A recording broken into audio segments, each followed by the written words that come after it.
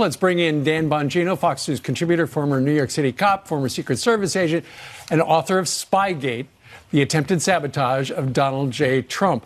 Um, Dan, uh, Mr. Schiff's talking about all that evidence. Uh, why couldn't Robert Mueller find it? Because there wasn't any, Steve. There was never any evidence. You know, I've been seeing a bunch of tweets this morning from blue checkmark liberals and anti Trump fake conservatives out there, and they keep saying this well, you know, the system worked. There was a serious allegation out there and they investigated it and they didn't find anything. No, the system never works, Steve, ever. There was never any credible evidence that any of this happened. Steve, if you, Brian, or Ainsley's entire lives were disrupted because you were accused of a bank robbery you never committed, right. and your friends and family and the network of people around you were bankrupted, hauled into court, and raided at 6 o'clock in the morning over a bank robbery you had nothing to do with. As a matter of fact, a bank robbery that never even happened in your neighborhood. You would be furious. Adam Schiff should resign in disgrace. Him and Eric Swalwell humiliated themselves, the United States Congress, the United States itself on a national stage, accusing a sitting United States president of effectively treason. He should sign a citizen's contract to never enter the political realm again. He should engage in charity work for the rest of his life to try to redeem his broken, sorry soul. The only redemption for this whole thing I have is that the Lord Almighty, he will have to answer to him one day for his disgraceful conduct for the last two years. Dan, he's not the only one. You have Tom Perez saying there was a mountain of evidence. You have Senator Blumenthal. Evidence is pretty clear. Swalwell, you mentioned, string of evidence. Jerry Nadler, we know there was collusion. And now he's saying can't rely on it. Possibly hasty partisan interpretation of the report and not so called total uh, exoneration that the president says. So he's not alone. The Democrats are spreading this message because they've seen the report and they don't like the results. You know, Ainsley, in, in, business, they have an expression. When you've had a really bad quarter, they say, listen, let's just take a bath with the stockholders. In other words, mm-hmm. let's just pile all the bad information into one report, get it out there, let the stock take a beating and move on.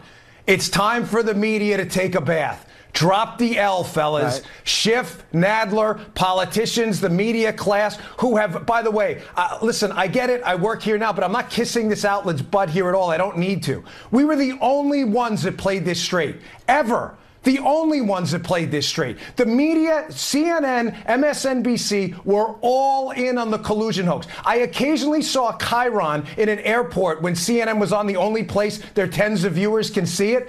And it was a constant, nonstop collusion as if this actually happened. Fellas, ladies, take the loss. It's right. over. You got worked. There is no evidence. This is a well, complete hoax, and you bought in on it. I read an opinion column on the CNN section today, and it said, keep in mind when you look at this picture, they said this investigation did not establish that members of the Trump campaign conspired or coordinated with the Russian government.